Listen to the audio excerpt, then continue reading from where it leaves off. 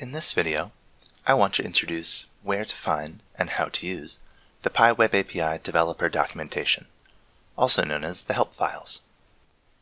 Every PI Web API installation comes with a local installation of the help files. In the upper left-hand corner of the main landing page for the PI Web API, there is a link to the help files. When clicking on this link, a new tab is opened to the main help landing page which describes each of the sections of the help documentation. Let's take a quick look at the Getting Started help page.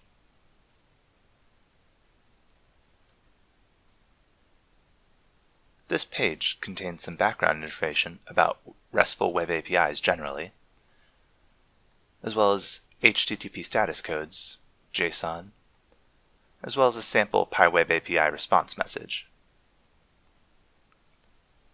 Towards the bottom of the page, it also has the code for a simple JavaScript application.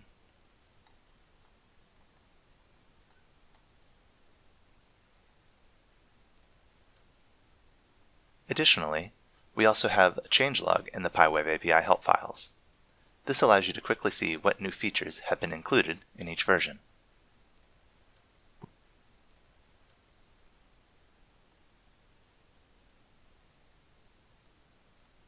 The controller section is where we'll be spending most of our time.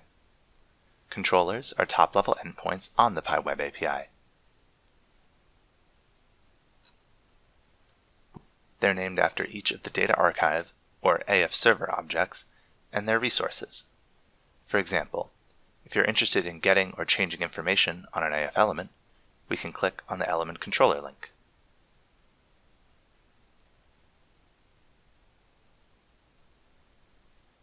Each controller has a list of actions that we can perform on it. In this case, we can get or create an attribute, as well as update, delete, among other options. Each controller action has additional information about the call when we click on the action itself.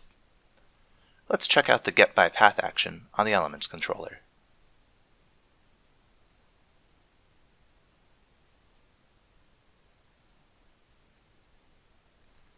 There are a number of important pieces of information contained here.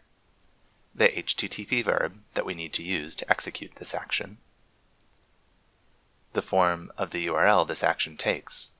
So, this will be what follows the base URL. In my case, the base URL is https colon slash slash venus.holtz.dev slash PIWebAPI. Under the URL parameters, we have the path parameter. We see it's not listed as optional, so we know it's required to make the call. In certain cases, parameters will be listed as optional, and defaults will be taken if nothing is specified for them. In general, to use URL parameters, we're going to need to use a question mark, then the name of the URL parameter, followed by an equal sign, and whatever the value of that parameter is. For this particular parameter, we have additional information on the syntax that is linked from the URL parameter description. If we had multiple URL parameters, we would use an ampersand after the first URL parameter. For example, if we're making a get recorded data call on an attribute,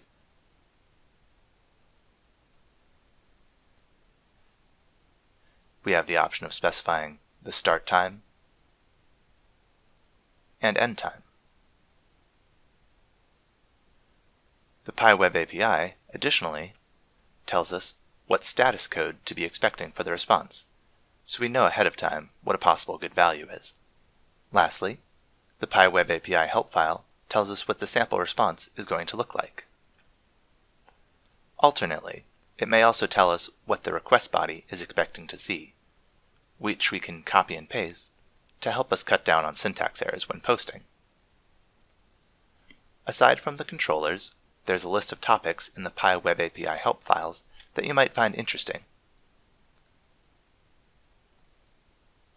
such as path syntax, with the query syntax information that you may need to use in conjunction with a controller and action information.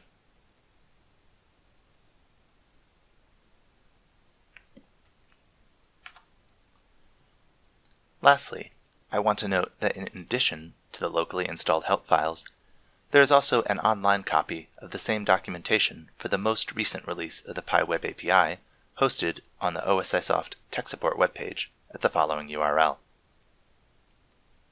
We'll be referencing these help files periodically throughout the course. I encourage you to do the same if you ever find yourself stuck on either syntax or needing to find out how to complete a task. You'll occasionally find that there are multiple methods to accomplish the same goal, and what to use is up to your preference.